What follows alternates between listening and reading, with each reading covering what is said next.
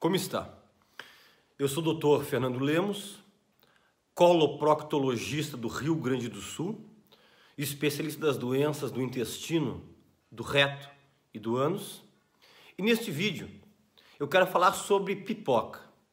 Quais as verdades e qual a opinião do especialista em relação a este alimento. Antes de começarmos, eu gostaria de convidar você que não é ainda inscrito no nosso canal, embaixo do vídeo em alguma localização ou do teu celular, do teu notebook, do teu computador, está escrito inscrever-se. É totalmente gratuito. Você clica ali em inscrever-se, logo vai aparecer um sininho se você clicar, você vai receber avisos que nós estamos com vídeos novos e você se inscrevendo, você vai ter acesso a todos os nossos vídeos aqui no nosso canal chamado Planeta Intestino. E eu te convido também, se puder, dar um like, dar um ok, dar um joinha. Também é importante aqui para o nosso canal, porque como sempre frisamos, nós não vendemos nada, nós não vendemos curso, nós não vendemos camiseta, nós não vendemos nenhum tipo de remédio, nós não somos patrocinados por indústria farmacêutica, não tem nenhum tipo de remédio, de iogurte, de medicamento que nos patrocina, em absoluto nada, ok? Nosso único objetivo é um, trazer uma informação atualizada de um especialista com comprovação científica de acesso a todas as pessoas. Para pessoas que não têm condições financeiras de chegar num especialista, para pessoas que não têm especialista na sua cidade e também para pessoas que nos dão o privilégio de estarem aqui conosco, pessoas que têm plano de saúde. Nós temos aqui centenas, para não dizer milhares, de médicos, bioquímicos, fisioterapeutas, nutricionistas, enfermeiros, técnicos de enfermagem que nos acompanham aqui, biólogos, isso é tudo um prazer. Mas nosso objetivo é trazer informação para pessoas que não têm condições de ter um especialista na sua cidade ou não tem um plano de saúde, ok? Só tem uma coisa que eu peço a todos, isso não vai custar absolutamente nada, só vai custar um pouquinho de boa vontade e você vai estar fazendo bem alguma pessoa. E isso aí é muito importante nós fazermos na nossa vida. É você compartilhar esse vídeo. Você clica aí onde diz compartilhar e compartilha num grupo de WhatsApp, no Facebook, onde você puder compartilhar. Vamos levar informação gratuita de qualidade para outras pessoas. Muitas vezes nós vamos salvar vidas, nós vamos trazer orientações, melhorar a qualidade de vida apenas com um compartilhamento seu, ok? Vou vindo para o vídeo. Muitas e muitas e muitas pessoas, poderia ficar repetindo 20 vezes muitas, me pedindo para falar sobre essa a tal da pipoca. A pipoca ela faz bem, ela não faz bem, quais são os mitos, quais são as verdades em relação à pipoca, o que, que o especialista dessa parte digestiva tem a ver em relação à pipoca. Vamos começar. Primeira coisa é o seguinte: a pipoca, nos últimos 15, 20 anos, ela tornou-se uma vilã. E eu já te convido para aguentar até o final do vídeo, que eu vou dizer qual é a quantidade correta de uso, quais são as contraindicações, então aguarda até o final do vídeo. Por que, que ficou essa fama de ser uma vilã? Tem muitos uh, pessoas aqui nas redes sociais, médicos, ditos especialistas, muitas celebridades da parte da nutrição, nutrólogos que colocam a pipoca como o pior alimento do mundo. Vamos por partes. Primeira coisa, eu não vou me referir aqui esse vídeo em relação à pipoca de micro-ondas, que obviamente é um alimento que não faz bem, mesmo que a partir de 2006 e 2008 alguns componentes, químicos, alguns componentes químicos foram retirados da maior parte dessas pipocas de micro-ondas o papel, que aquele que aquecia liberava grande quantidade de componentes químicos também foram retirados, ok? E isso aí, esses ditos especialistas aí, que estão até em programas de televisão falando, não, não dizem isso. Eu não estou aqui também te induzindo a ingerir pipoca de micro-ondas, porque eu não uh, recomendo para ninguém ingerir esse tipo de pipoca. Eu não estou me referindo a isso aqui. Pipoca de micro-ondas não faz bem. Não é o pior alimento do mundo, como adoram estar tá citando aí, mas eu não recomendo. Também esse tipo de pipoca, que é vendido muito em cinemas, né? Que tem muito sal, muita manteiga, muito condimento, muito aroma artificial, grande quantidade de óleo. essa pipoca também faz mal por causa desses componentes externos que eu citei aqui. Mas a pipoca em si, talvez muitos vão se surpreender que eu vou dizer agora, é um alimento muito saudável. É um alimento com muitos benefícios que talvez você vai se surpreender ao longo deste vídeo objetivo. Eu poderia perder muito mais tempo falando sobre a pipoca, eu tive que resumir alguns benefícios. Vamos começar com eles logo. Primeiro, pipoca, ela é muito rica em antioxidante. O que, que os antioxidantes fazem? Eles inibem radicais livres. Os radicais livres são aqueles que fazem as células se degenerar, ter apoptose, que é a morte celular, inibe também que tem as mitoses, que são as divisões celulares de forma irregular, que pode até evoluir para tumores. Então, sendo rico em antioxidante, e um dos principais antioxidantes ricos na pipoca são os polifenóis, ele ajuda, ajuda a prevenir problemas cardiovasculares. Então, é bom para o coração e bom para a circulação, é verdade? Sim, por causa dos polifenóis. Segundo detalhe, por ter rico em, esses polifenóis, ele tem um certo poder que ainda está em estudo, antiteratogênico, ou seja, previne formação de alguns tipos de tumores. E quase tudo isso que eu vou citar nesse vídeo, começando por esse estudo que mostrou que é rico em antioxidantes, deve-se a um estudo que foi publicado em 2013 por um grupo da Universidade da Pensilvânia, conduzido principalmente presidido por um bioquímico chamado Joey Wisconsin. Ele que começou todos os estudos que até hoje estão citando, deve-se a ele os principais estudos em relação à pipoca. Então, por ser rico em polifenóis, ele melhora também a imunidade. Então, o que eu citei aqui resumindo por causa desses antioxidantes que é muito rico?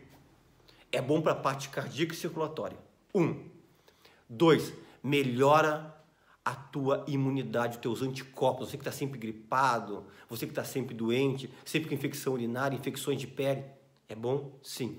E a terceira, e o terceiro detalhe, que ele tem sim um certo poder de prevenir tumores, porque os tumores iniciam por alteração da mitose, daquela uh, regeneração celular de forma desordenada. Não sabe-se exatamente quais tipos de tumores têm benefícios, mas sabe-se que para alguns tumores tem benefícios por causa desses polifenóis. Olha uma coisa interessante, que uma vez quando eu estava explicando isso num grupo de colegas, um grupo, então é só comer o milho, porque a pipoca vem do milho. Olha que interessante. Uma porção de pipoca, uma porção, vamos citar, um punhado de pipoca, ou um saquinho de pipoca pequeno, como vendiam os antigos pipoqueiros, né? que era um saquinho pequeno de pipoca. Tem 300 miligramas de polifenol, que é o antioxidante. Uma porção de milho tem 110 gramas, menos da metade. E quer se surpreender? A maioria das frutas e hortaliças tem em média 160 miligramas de polifenóis numa porção. Ou seja, metade do que tem na pipoca. Porque geralmente frutas e hortaliças elas têm quantidade uh, de água, isso dilui esses polifenóis. Ou seja, a pipoca tem mais antioxidante do que muitas frutas, hortaliças e do que o próprio milho in natura que você pode querer consumir. Outra coisa, a pipoca é rica em sais minerais e vitaminas. Quais principais sais minerais? Manganês e magnésio, importantes para o sistema nervoso central.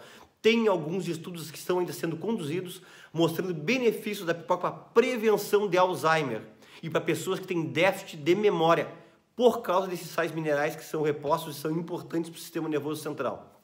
Rica em vitaminas do complexo B.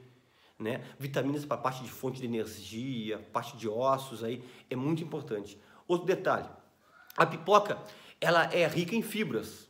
Então, sendo rica em fibras, ela é um tipo de pré-biótico vai melhorar a microbiota intestinal, algo especificamente da minha área, da coloproctologia, melhorando a flora intestinal, que é, o, que é a microbiota intestinal, vai aumentar o peristaltismo, vai aumentar o bolo fecal e vai fazer um melhor funcionamento do teu intestino, ok? Então a pipoca faz bem para o intestino, para funcionamento, realmente faz bem. Outra coisa, pipoca tem um baixíssimo índice glicêmico de açúcar. Ou seja, pacientes diabéticos podem ingerir a pipoca? Podem. Pipoca não tem glúten. Pacientes com intolerância a glúten, pacientes com doença celíaca podem ingerir pipoca? Podem ingerir sim pipoca. Pipoca é interessante que alguns componentes dela são componentes que auxiliam na construção, sabe de quê? De cartilagem, de tecidos moles e até mesmo de ossos. Por isso que os estudos estão mostrando que a pipoca tem benefícios para rugas, tem benefícios para cabelo, para unha e até para a parte de prevenção de fraqueza muscular e algum tipo de debilidade óssea que dá com o passar dos anos, a osteopenia, a pipoca auxilia também para isso. Uma coisa interessante sobre a pipoca, em relação aos antioxidantes que eu esqueci de falar para você, um detalhe importante. Sabe onde é que a maior parte desse antioxidante do polifenol tem?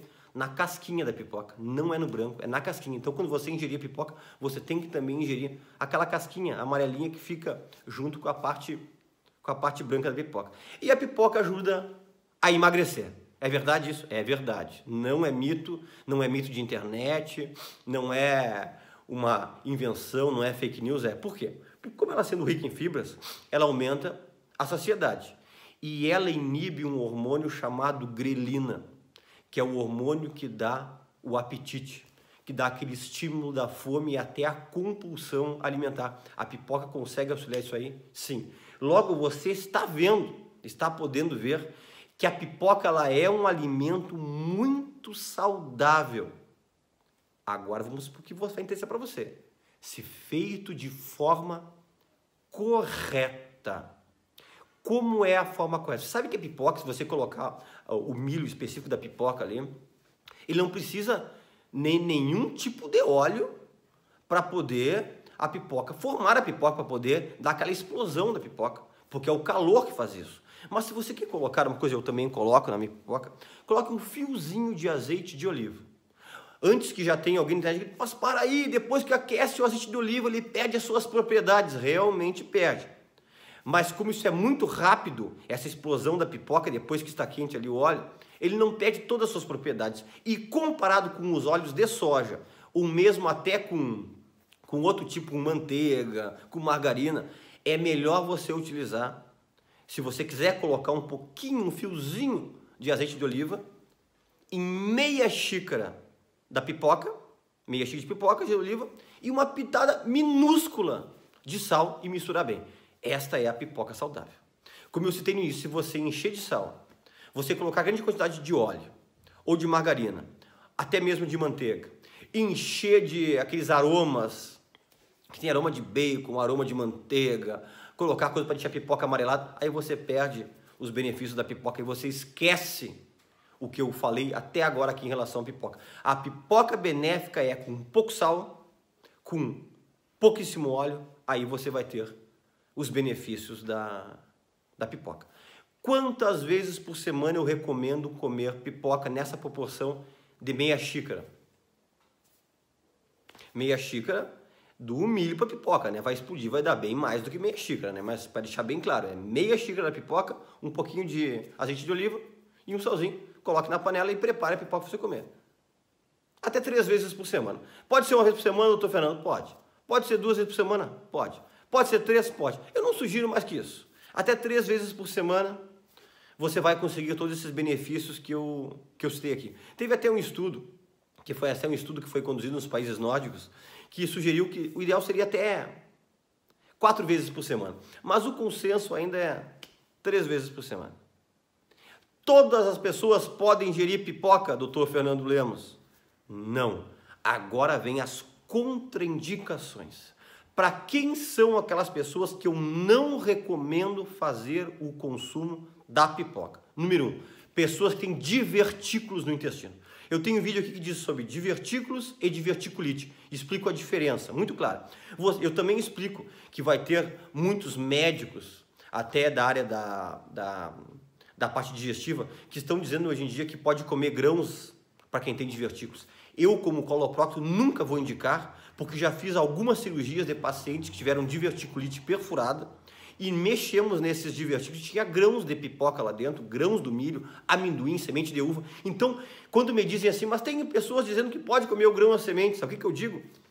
Para os meus pacientes, eu não recomendo. Se você quer indicar para os seus pacientes, você recomende. Eu, para os meus, não recomendo. Então, quem tem divertículos, não recomendo comer a pipoca. Se você quiser comer só o branquinho da pipoca, até pode, não terá todos os benefícios, apenas gosto. Você que tem prazer de comer a pipoca, mas não pode comer aquela casquinha, o durinho, aquilo lá, por causa do grão sementinha, evite. Outra coisa, pessoas que têm problema de gordura no fígado de segundo ou terceiro grau, a esteatose hepática. Mas você não falou que a, que a pipoca ela tem baixa quantidade de caloria? Sim, a pipoca tem pouca caloria, tem pouco açúcar, quase nada de açúcar, e pipoca não tem glúten. E por que, não pode usar esteatose hepática? Porque geralmente pessoas que têm esteatose hepática do segundo para o terceiro grau, que é gordura no fígado um pouco mais avançado, essas pessoas têm uma digestão lenta, retém muitos gases. E a pipoca você pode formar um pouco de gás, então vai prejudicar isso aí. Terceira coisa, pessoa que tem pedra na vesícula e tem tido crises seguidas de pedra na vesícula, ou a famosa discinesia biliar, tem esvaziamento da bile. Eu também não recomendo, porque a pipoca tem uma porção da celulose e isso aí pode estufar. Pessoas que têm síndrome do intestino irritável que não estão bem compensadas, que têm muitos gases retidos. Pessoa que tem a famosa má digestão, muito gás. Eu também não sugiro consumir a pipoca essas três vezes por semana. Pessoas que ingerem pouca água, porque a pipoca tem fibra e a pipoca pode te estufar, te criar gases.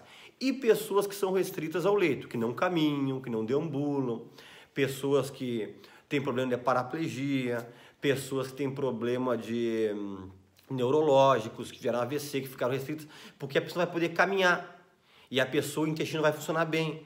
Logo tem fibra, vai estufar, então não é recomendado, ok? Mas principalmente quem tem divertículos, quem tem esteatose hepática de segundo para terceiro grau por causa dos gases que se formam secundariamente essa gordura dá uma má digestão, quem tem problema de vesícula, mal funcionamento da vesícula, quem não operou sua vesícula ainda, eu também não sugiro você ingerir a pipoca. Relembrando, o benefício da pipoca é aquela pipoca que eu citei acima. Essa pipoca toda incrementada, com tantas coisas que eu vendi nos cinemas, não tem os benefícios. E a pipoca de micro-ondas também não tem os benefícios. Inscreva-se no canal, compartilhe esse vídeo e até um próximo vídeo.